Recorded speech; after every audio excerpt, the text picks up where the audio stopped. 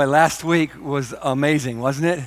Uh, God did something here in an, an, incredible way last week. If, if you weren't here, I, I'm sorry, but it was, it was awesome. We started this new series called Igniting Prayer, and I think that's exactly what God did. I think God started igniting prayer in our hearts as a church last week.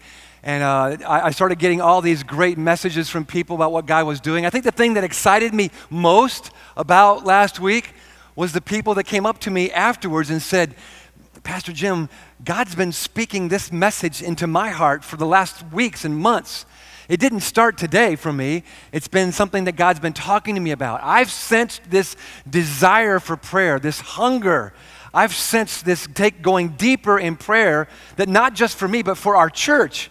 And so when I hear stuff like that, I know it's not about, it's not about me, it's not about our, our Sunday service, it's about God moving, and that's what we want to be a part of.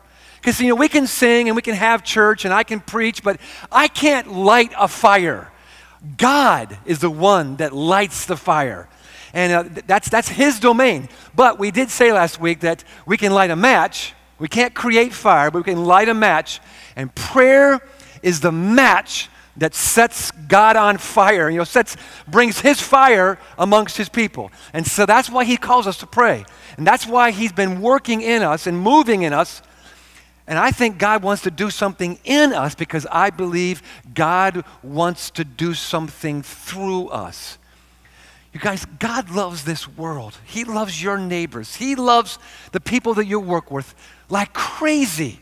And while God loves his church, his heart is, is, is broken for the, the people who are still living in rebellion, the people who are still ignoring him. And he's calling us, and he's filling us, and he wants to set us on fire, not for ourselves or for our church, but for the world. God so loved the world that he sent his only son. And so he's igniting this prayer in us. And this past week, I've heard so many cool stories about people praying together and heard stories about people gathering and just kind of spontaneously praying here and, and praying there and, and people getting together, you know, as, as you know, our staff. You know, our staff was praying here in this, this room and, and other rooms throughout our church, just praying that God would, would stir us, ignite in us, and, and work in us His will and His purpose. And, and I, think, I think He's doing that. And this, this all comes around this whole language of Lord. I asked you last week, those of you here to pray with me. Lord, teach us to pray. Five words. Yeah, five. There's not four, five. Five words. Same with me. Lord, teach us to pray. And I challenged you, if you were here last week, so let me challenge you today. Would you pray those five words over the next month? See what God does. Just, and you can pray other things, but especially those five words Lord, teach us to pray and see what God does. And as He begins to answer that prayer, don't stop. Keep praying. As He begins to answer that prayer, because that prayer is going to take us deeper and deeper and deeper into God's heart. He's going to do more and more through us as we learn, because there's so much more to learn than what we can learn in just a couple weeks or a couple months. In fact, we'll never get to the place, friends, where we've learned everything there is to know about prayer. And so last week I was all spitting and shouting and hollering and casting vision for why we need to pray. And today I want to you know, look more deeply into these words, Lord, teach us to pray, and, and begin to answer the question of what does it look like when God teaches us to pray. So turn with me, if you will, to Luke chapter 11. Luke 11, and that's where these words come from, by the way. The five words, Lord, teach us to pray come from this passage in Luke chapter 11, where one day Jesus is praying. Okay? So if you got your Bibles open, let's stand to our feet, all of us. And um, we'll read the first four verses of, of Luke chapter 11. One day, Jesus was praying in a certain place. When he finished, one of his disciples said to him, Here's these words Lord, teach us to pray just as John taught his disciples. So Jesus said to them, when you pray, say, and I, I pointed out earlier, earlier crowd, that in the Greek, Jesus uses a text, a tense here that says, when you pray, keep saying these things. Don't, it's not just a one time prayer. This is keep saying this. So when you pray, be saying, keep saying, Father, hallowed be your name. Your kingdom come. Know, we're ready for the next phrase, right? Your will be done. it's not in Luke's version, that's in Matthew's version. Hallowed be your name, your kingdom come. Give us each day our daily bread. Forgive us our sins, for we also forgive everyone who sins against us. And lead us not into temptation. Okay, you may be seated. If you were wondering where's the rest of the prayer, there's two versions of what we call the Lord's Prayer here in Luke and then in Matthew. And we'll talk about Matthew's in a couple of seconds. The thing I want you to notice here is that is why Jesus teaches this prayer. And it's an answer, you notice in verse 1, it's an answer to this disciple. We don't know who this disciple is. Seeing Jesus pray, and he's watching him, and he's like, man, I, I want to pray like that. And I don't know whether, you know, this is Peter and the disciples sent him because, you know, don't interrupt Jesus when he's praying. Or there's just Peter himself. We, we don't really know. It's an unnamed person, but he's, he's saying, I, I want to learn to pray like that. And furthermore, it's not just pray like that, but, you know, we're in the middle of the, of the Gospel of Luke, and we've seen Jesus pray, and all of a sudden, bread and fish are multiplied. It turns into a real happy meal. We see Jesus pray, and demons are cast out. We see Jesus pray, and people are healed of blindness and are raised from the dead. I mean, there's power in the way that Jesus prays. It was not just the words that he said, it was the, the power that he prayed with. And it was something about the way he prayed, and the disciples were like, man, I want to I wanna pray like that. I want to learn to pray. And we said last week, you know, can you pray fire down? Do you know how to pray in such a way that heaven and earth are moved? Do you know how to pray in such a way that, that lives are changed? When Jesus prayed, things happened. And while all of us know how to say prayer words, I believe God wants to take us someplace. I believe God wants to do something in us where our prayers are full of His power. And as we said last week, we pray and God answers with fire maybe not literal fire, you know, and you know, coming down, but but God God moves on us. God works in us in such a way that it's unmistakable. And it's not just words that are being said. And, and while I say that, um, I got to help you understand that the words are not where the power is. It's not the, the words that Jesus says, it's the relationship that he has. And that's what the disciples see. They see the power, they see the relationship. They're like, we want to pray like that. So I highlighted in yellow, Lord, teach us to have that kind of relationship. Teach us how to pray. And when a disciple, that's a follower of Jesus, right? A disciple s- sees Jesus, he says, that's the way I want to be like that. So you can actually write down, learning to pray like Jesus will make us more like Jesus. You know how we say in this church that a disciple Three things. This is not in your notes, but if you want to write this down, you can. A disciple is one who's following Jesus to learn from Jesus in order to become like Jesus. You're not a disciple if you're just following from a distance.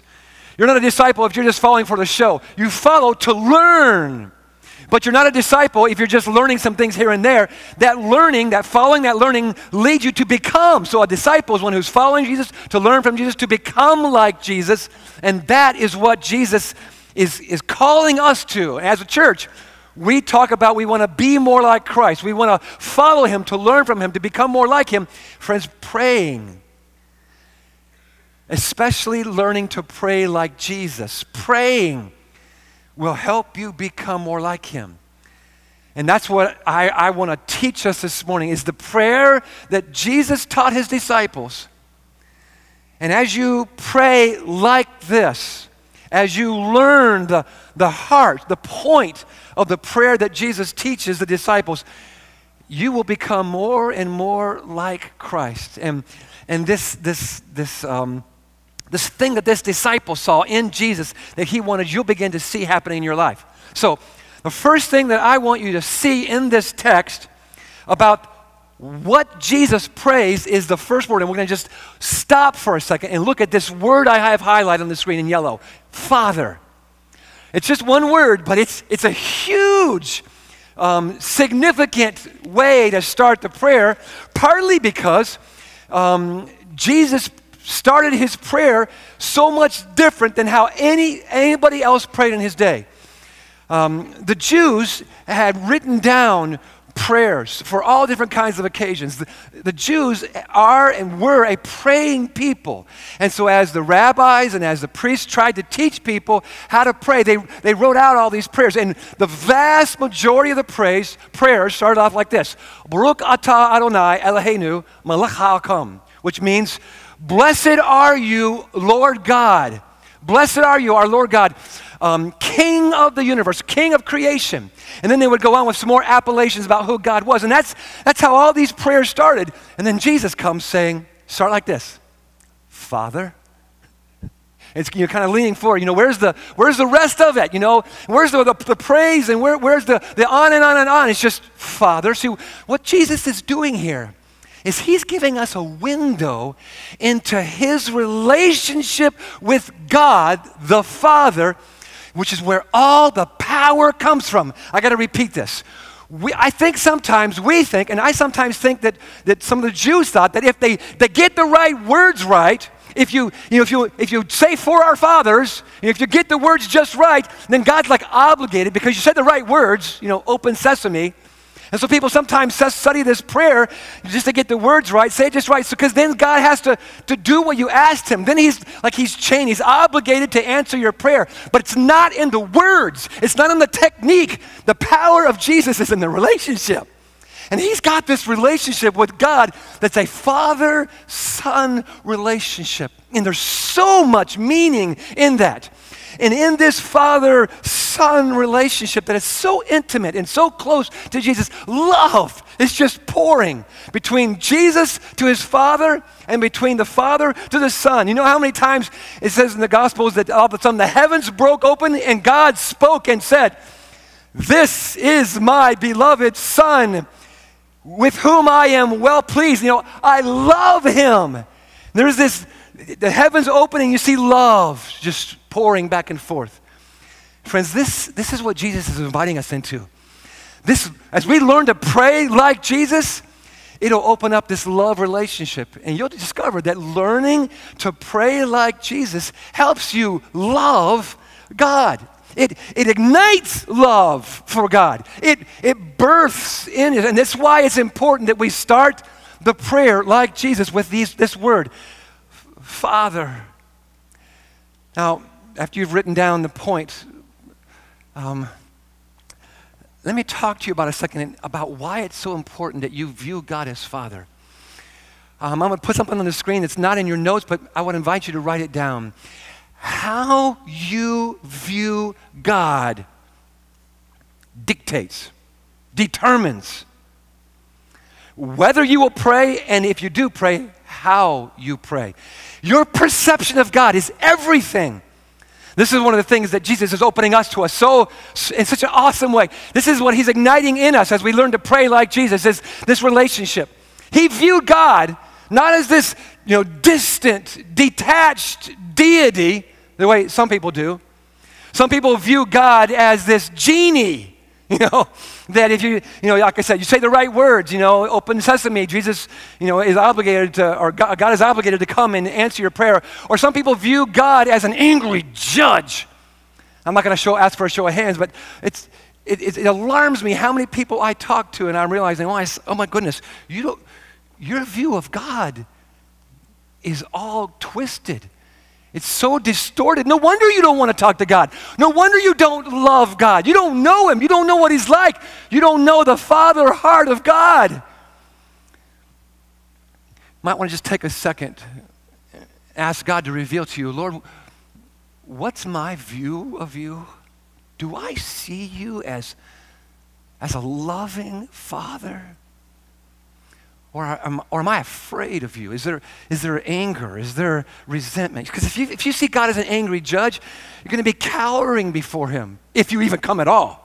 You know, you're, I don't want to come to that bench and have him knock that, you know, that gavel down. I'm afraid. Or if you see him like a genie, you know, you're going to be working on the technique. And if you see, it's all this superstition. A lot of people's prayers are more superstition than they are relationship. If you see God as, you know, this um, distant, detached deity, then you spend all your time trying to get God's attention. Jesus just says, Father, because he knows that God the Father is attentive.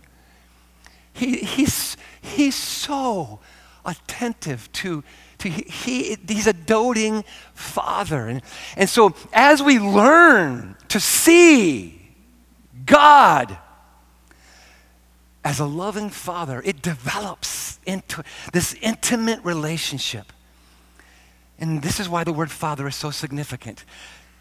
Jesus wants his disciples to, to understand I'm here on this earth to show you how to live in an intimate relationship with God the Father. And it starts with the, the prayers, the very words that I am giving you to pray. And I, Jesus is like, I want everyone to have the intimacy that I have with God.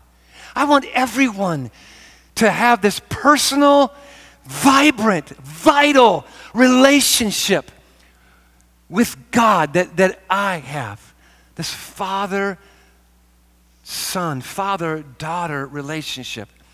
And, and when, you, when you see him, Jesus says, like I see him, then there's this, there's this trusting dependence. I'm not trying to get your attention and say, oh God, you know, hey, are you, are you paying attention? I'm not trying to, to con you or convince you. I, I, I trust you. This is all in this word, Father this is, um, you know, I, I don't ever, ever remember as a kid coming home from school or coming home from work or waking up in the morning and going, man, I hope my dad paid the, the light bill so we can turn on the lights today. I hope, I hope dad paid the mortgage, you know, this month so we don't get kicked out. You know, I hope that there's food. I don't, I never, ever remember any in my life wondering if, if my dad was going to take care of us. I just trusted, I depended on him. I know some of you are like, yo, well, that's fine for you, Jim. I can see why you understand this relationship with God the Father because you had a great dad, and I did. But he wasn't perfect, but he was great. But I know some of you are like, I don't have a dad like that. So I, I don't get this. When I say father, it does, it's not warm fuzzies. You know, it's not, it's not, hey, I'm attracted to that. It's just the opposite. Some of you, you hate your dads. Some of you are so angry. And there's a roadblock here. So I, I just pause right now to ask, ask you, Father, that would you open our hearts to who you are? I want God's character, as revealed in the, Bible, to shape what you think about God versus your father here on earth. God designed it so that fathers model and that fathers give their children a taste of what the Heavenly Father is, but we're all imperfect. But even if you had an, an awesome dad, God the Father is a, you know, a million billion times better. So, with that in mind, even if you had a bad father, God is still a million billion times better. Um, so, so if you did have a bad father and you don't get this whole father thing, then, then just say, Lord, teach me. Since you're asking, teach us how to pray. Teach me the, the, the Father's heart. That's a, that's a huge prayer. Teach me what you're really like from your word, God. And help me, help me to lay aside all of the imperfect, lay beside, aside all the distortion, all the caricatures of who you are. God, teach me your heart. Help me to see you the way Jesus saw you as father. And as you as you do that, as you go deeper in that, things will begin to open up for you. Now, I know as soon as I say that, some of you are like uncomfortable with that whole idea of being really ultra familiar with God. And you want people to remember that God's holy. Well, that's the next thing Jesus does. Look at your text. The very next words Hallowed be your name. You understand what that word means? Hallowed? um, it means holy. That's what that word means. It means uh, be holy.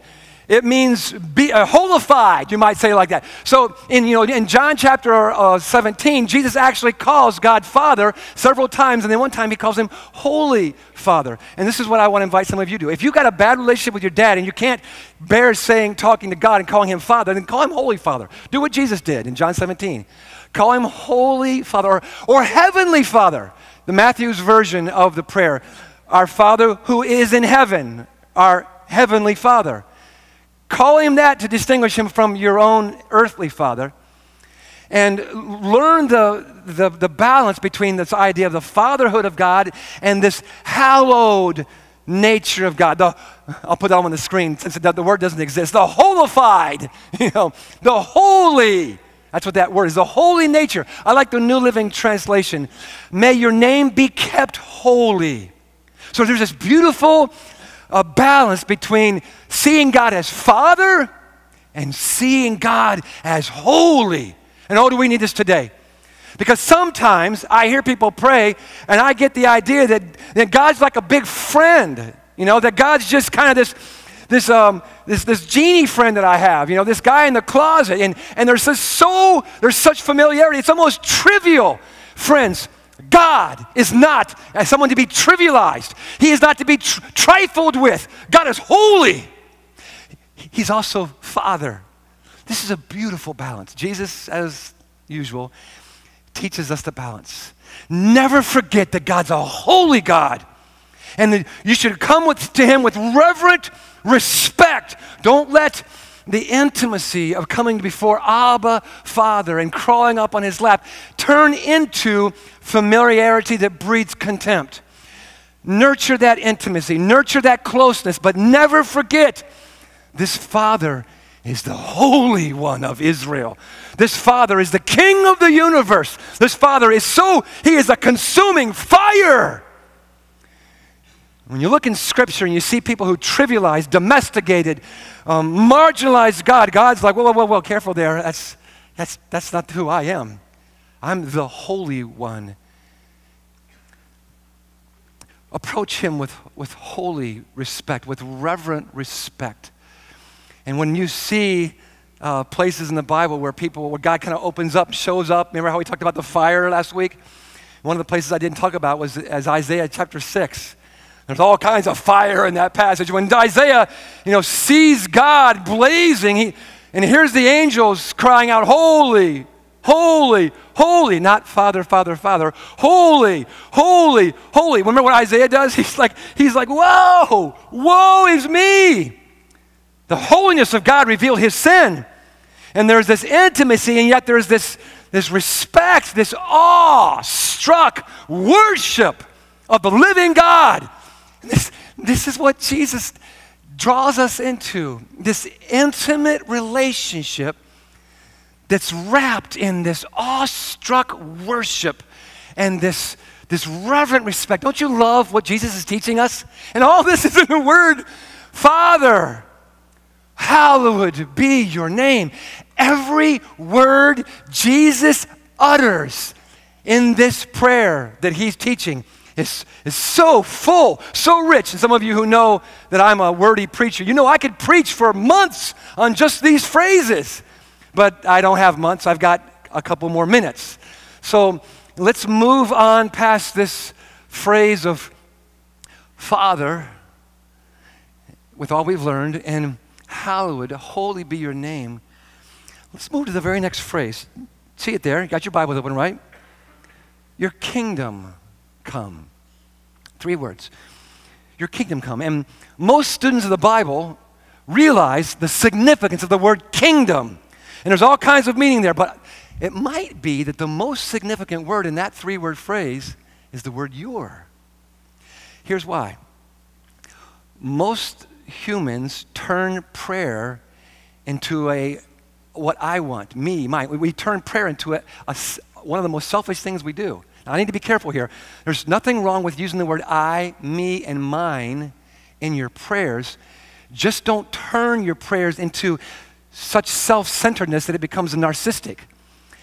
And it's interesting to me, if you look at this text, Luke 11 as well as Matthew 6, there's not one I, there's not one me, there's not one mine, there's not one my uh, in the whole prayer that Jesus, the model prayer Jesus teaches. Instead, it's focused on God, and we'll talk more about later what, what else happens. But here's what Jesus is doing. I, I want you to recognize that in prayer is where you get your heart calibrated. It's where you get your priorities recentered. That it's not about you and your kingdom. Let me put it this way it's not about me and my kingdom. It's about you, God, your kingdom. So, right away, Father, hallowed be your name, your kingdom come. I want your agenda. I want your kingdom. Now, kingdom is a leadership word. We don't want to surrender our lives to Jesus Christ because we want to be the kings and queens of our own kingdom. This is what every human being wrestles with. It doesn't matter whether you go to church, that's not the important thing. Well, it's important to go to church, but that's not what saves you. It's not, it doesn't matter how much money you give. It matters, have you surrendered the kingdoms of your heart to the king of the universe? And a lot of religious people haven't the prayer they pray in church or at home is, My kingdom come. I want a God that'll help my kingdom come. My will be done. Why do we pray like that? Because we're sinners through and through. And so Jesus shapes our prayer by teaching us to pray, Your kingdom come. And as Matthew adds, Your will be done. Remember Jesus the night before he died in the Garden of Gethsemane? Not my will, but yours be done. This isn't the first time Jesus has prayed this. Jesus lived this prayer of not my will, but yours be done. We call it living surrendered. So, secondly, learning to pray like Jesus helps us learn how to live surrendered. And th- this prayer that Jesus prays, Your kingdom come, Your will be done, is something that has to start in our heart. The kingdom of God comes to our heart and changes us from the inside out. So we surrender our heart to God's loving leadership. This, this is what I'm calling you to do to surrender your life, to surrender your kingdom, to surrender the authority, the leadership of your life to God. Remember, you're not surrendering to a despot you're not surrendering to some leader who's, you know, half crazy, who's this dictator. You're surrendering to the loving Father. The, you're surrendering to the, the loving leadership of God that was demonstrated on the cross. God loves us so much, He sent His Son to die for us. That's the leader you're surrendering to. And then, the, as Matthew says, your kingdom come, your will be done. Then you surrender your will. You surrender your will to God's trustworthy leadership. See, friends, I'm not trustworthy. Oh, good, no one left. Uh, sometimes I am, sometimes I'm not. You're not trustworthy. Sometimes you are, sometimes you're not. But God is perfect in his faithfulness. He is perfect in his trustworthiness. You can surrender your heart and your will to this loving, trustworthy leader. And then the next phrase is Jesus says, Give us this day our daily bread. That prompts me to say, This is the third thing I surrender. I surrender my day. Many of you know that for years I have gotten on my knees. I roll out of bed every morning. I, I, did it this morning. I rolled out of, my, out of my bed, landed on my knees, and I said, Lord, today, today, I want to love you. I want to love people. I want to, I want to live surrendered. This is not an abstract thing. This is not theory. Today, I want to love you with all my heart, soul, mind, and strength. I, I, I want to love people like Christ loved them. And I, and I want to I want to live a not my will, but yours be done. I want to live a, a your kingdom come, your will be done life. Lord, today I want to love you, love people, live sin. And I get up off my knees and I walk into my day. Surrender your day to the sovereign leadership of God. The, the God who can design the day, who can bring things through the day, who can bring people in your life, who can orchestrate things in such a way that He can answer that prayer that you are you're praying. Surrender. The prayer that Jesus teaches us is a great way for us to learn to live surrender. Now, let me finish up by doing this. Look back at your text again, and I've already kind of spilled in, but look, do you see the shift between verse 2 and verse 3? Got your Bibles open, right? See the, the shift between verse 2, which is about God, Father, hallowed be your name, your kingdom come. And then in verse 3, and verse 3 and 4, a shift happens. And now, watch the screen. I'll put it on the screen for you. I highlighted in yellow. And now it turns into a bunch of us's and we's and ours. when I lived in Philadelphia, people talked in we's and ours. They would say, Hey, we's going to get some ice cream after church. You want to go with us? After I got over the, how silly it was to ask me if you wanted to go get ice cream, I laughed at the we's. Who's the we's? You had a mouse in your pocket? But that's just the way they talked we's and us's and ours. And this is, this is the way Jesus is, is teaching us to pray. It's, uh, it's no, no I, no me, no mine. It's ours, it's us, it's we. Did you notice that? Watch this. Jesus is calling us to pray plural. I like that. Pray plural. He, in the model prayer he gives us, there's no I, we, or, or me. It's no, or there's no I, me, or mine. Why? Jesus is helping us to see the orientation is that we're, we're with the family of God. We're in the church. We're with people. There's no such thing as Lone Ranger Christianity. There's no such thing in the Bible as this isolated, just me and Jesus, nobody else. No, it's always a community. And so John, John says in 1 John, if you love God, then you should love people. They go together. And so this is what Jesus is teaching us. He's teaching us to pray as a way of loving people. Could be that praying for people is, is the greatest way to love people. And if you love someone, you'll pray for them. I'm going to challenge you in a couple of seconds, not yet, but I'm going to challenge you a little bit later to love some, a very distinct group of people.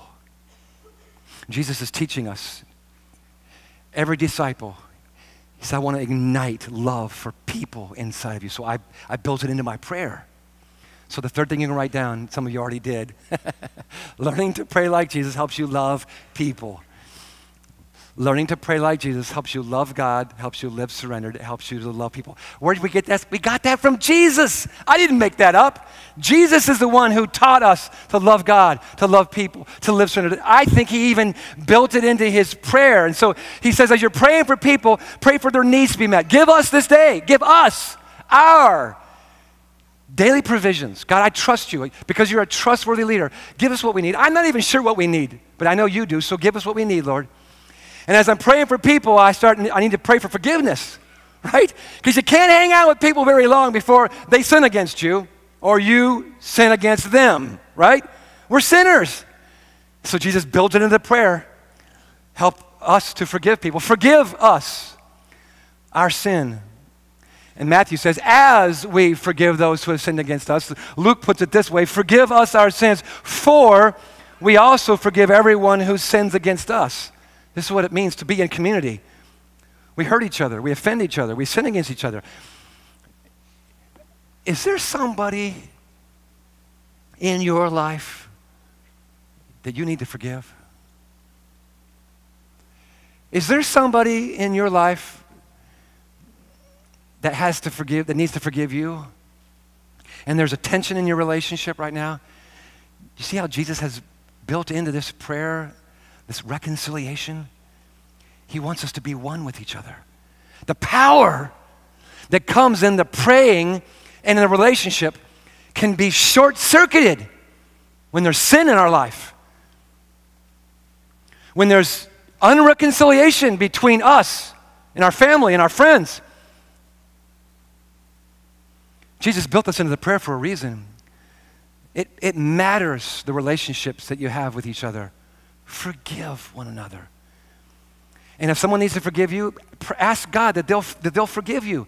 Don't ignore it. Don't just say, What's well, the ball's in their court. Pray that they'll forgive. Jesus built it into the prayer because it's very, very significant. Pray for our needs to be met, for forgiveness. And then he, he wades into who's the one that calls, that, that tempts us to, to, uh, to, to not forgive each other? Who's the one that tempts us to sin against each other? Who's the one who puts it in our mind to be selfish and self focused? It's, it's the evil one. So Jesus prays that we're not led into temptation. And then Matthew adds, but deliver us from the evil one. Because he can wreck relationships, he can wreck a church that God's moving in as people get back into sin and focus on each other. So Jesus builds into the prayer, and, oh no, God, I want you to protect people from the evil one. I want you to deliver them. Lead them away from temptation. Don't lead them in. So pray that. Pray for that protection because if we're right and God is starting a prayer movement in Church the Open Door for the sake of blessing the world, because that's what he does. He, doesn't make us holy and like Jesus for our own sake, but for the sake of the world. If that's what God's doing, Satan sees it, has already seen it, and has already begun to distract and deceive and to, to um, create dysfunction and deception and distraction and distortion in the body of Christ in order to disrupt and, if possible, to destroy the good work that God wants to do. Some of you are right on track with me. You know exactly what I'm talking about. I know in my own life this week, my wife and I had a couple of challenges, and I'm like, whoa, I know where that's coming from. My sinful heart, but also because Satan is, is trying to destroy, he's trying to divide. This is what he does. Beyond the watch, Jesus calls us to pay attention. Peter actually calls him a roaring lion who prowls around seeking to devour. Now, it's interesting to me that, that this prayer that Jesus teaches us gets echoed in the, the longest prayer that we have in Scripture from Jesus. Anybody know where that's at? It's the night before he died in John 17. You want to turn with me there? John 17. Um, Jesus, I've already referred to this chapter once. This is the night before Jesus dies. He's got his disciples. He's teaching. It's the Last Supper. And he prays in John 17, calls God the Holy Father, and he prays for protection from the evil one. He prays for the disciples in, in uh, verses 6 through 19. And he, he's praying for the, the followers of his, the disciples, the night before he dies. His heart is out, being poured out you can just hear him. You can hear the, the breaking in his voice. And one of the things he prays for the disciples is that they would be protected from the evil one. One of the things he prays is that they'll be unified. One of the things he prays is that they'll know the love that God has for them and the love that he has for them. And it's all, it's all, it's all this love that Jesus has for his disciples. Actually, the night began in John 13 with Jesus getting ready to show the full extent of his love. So he washes their feet and he prays for them and serves them. This is, this is shot through with love as Jesus loves his people, his peeps, his disciples. But he changes direction. Did you ever notice this? In verse 19, and he starts not just praying for those who are walking with Christ, and so for you and I, we need to pray for those who are Christians, pray for those who are walking with Christ, pray for those who are disciples, but also pray like Jesus does in verse 20 when Jesus says, My prayer is not for them. Who's the them? Shout it out. His disciples. It's not for them alone. I pray, I love this word, also for those who will believe in me through their message. Who's that? Who's that? Exactly. Jesus is praying for us the night before he dies. Is that crazy? He's thinking about you. Because he's God, he can look down through the ages. I pray for all those who will yet believe. Hear the heart of God beating in the heart of Jesus. He's not just praying for those around him, he's praying for future disciples. And if we are going to be anything like Jesus, we can't just pray for each other. We got to start praying for future disciples. We need to pray for those who are yet to come. Hear the heart of Jesus here. Don't miss this. The night before he dies, when he's facing the cross, this is what Jesus is thinking about. He's thinking about those who hate him, those who are rebelling against him, those who will crucify him. He says, Father, forgive them. They have, have no idea what they're doing. If you are a rebel against God this morning, and just because you're in church doesn't mean you're not a rebel. If you're a rebel this morning against God, He sees you and He loves you like crazy, and He's been loving you. and He's drawing you to Himself. And if you're here today and you've surrendered, you've laid down your rebellion, and you're a follower of Jesus Christ, then God wants you to, to stop living for yourself. I'm so happy to be saved, and start developing a heart for others and noticing your neighbors, the people you work with, the people that you work, work out with. They're lost. Do you even notice them? Jesus is thinking about them the, day, the night before he dies. And he's praying for those who are yet to believe.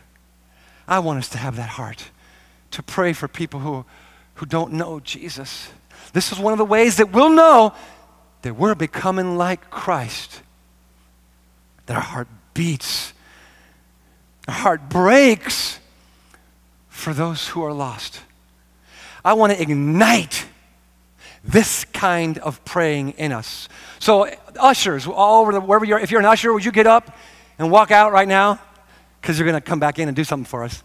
But our ushers in all of our venues are going to go out and they're going to come back in in a couple of seconds and they're going to hand out little pieces of paper that have ignite on them on one side. The other side is going to be a prayer, a, little, a, actually, a little direction that says, you know, write down on this little piece of paper the name. Pay attention to me. The name or names of someone you know doesn't know Christ. There's lots of things you could write down, but today, I want everyone to write down the name of someone that you know that doesn't know Jesus Christ. And maybe one or two names, I don't know. But as these little pieces of paper get passed out, and every single one of you will get one, write their name down. And then I'm going to ask you to roll it up real tight, and I'll explain why I want you to roll it. I don't want you to smoke it. I want you to roll it up. Some of you are like, what? Yeah, trust me. When I say roll, that's what some people think. I want you to write their name down. And so, ushers, if you'll come, start passing these out. Um, uh, then write their name down, and, and we're going to have you put them in a prayer wall. Some of you, when you walked in today, you saw this big wooden wall. Uh, it's a prayer wall. When I was in, uh, every year I go to Jerusalem, and uh, every year I go, I go to what's called the Western Wall. Some people call it the Wailing Wall. Come on, ushers, come on down. Uh, some call it the Wailing Wall. And uh, what people do is they, they pray at this wall, and they write down prayers, and they fold them up, and they, they stick them in the cracks of these massive stones in the wall that's become a prayer wall. And you can go there 24 7. I was actually looking at it yesterday. There's a camera that, that looks, that broadcasts the, the Western Wall in Jerusalem 24 hours a day. And I go there every once in a while just to watch it and watch people pray. And there's all these people praying there um, and putting their prayers in the cracks of this wall. And they're, they're presenting their requests to God. This is what they're doing which is exactly what Paul says in Philippians chapter 4, verse 6.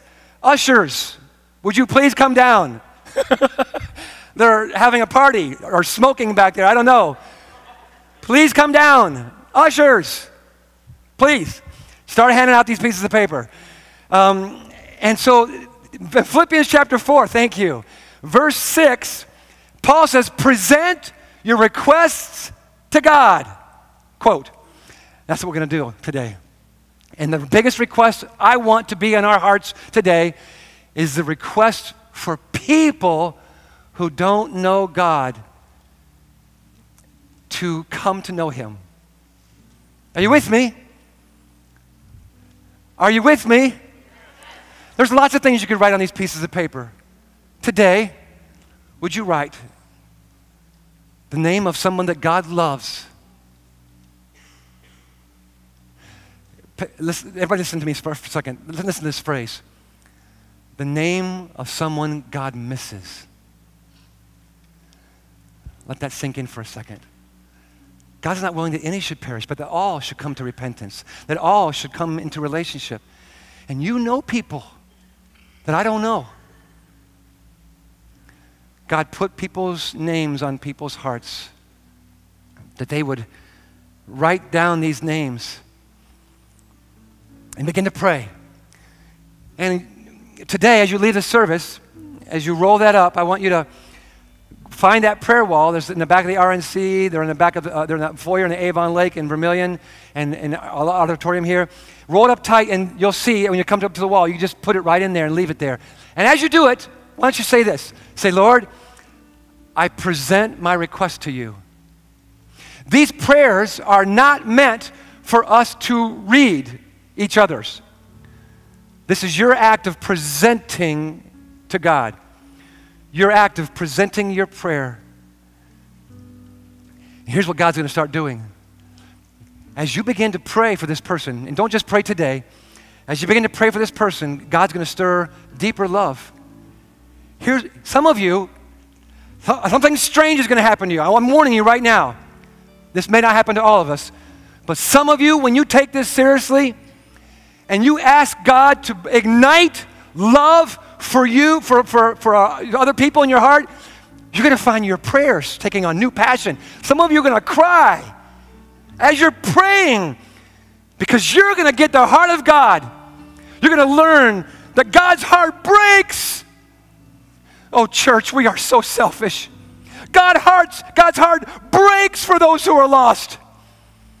And He wants our heart to break for them. And that's why you work with them. That's why you live with them. That's why you see them in the neighborhood because He's put them there so you might pray for them. And then, and then would you do one more thing else for me?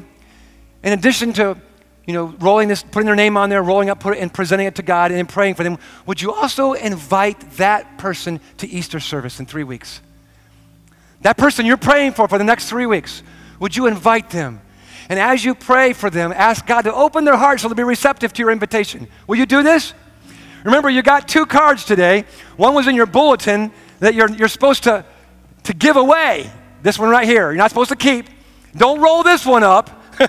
this is the one you're going to give to your neighbor, the person you work with. This is the one you're going to put their name on, roll it up, and put it in the prayer wall. We're clear. And God will ignite love for Him and love for people. It's the last thing to write down. Some of you thought I forgot that. You're going to leave freaking out because you didn't fill out the last blank. We're, we're cool. Okay, we got it. We got it. When you learn to pray like Jesus, He ignites in you. Oh God, this is my prayer that you will ignite in us love for you and love for people. Burn in our hearts love for people. God, build your church. Set your church on fire with love for our world. God, build your kingdom through us. We pray in Jesus' holy name. Amen.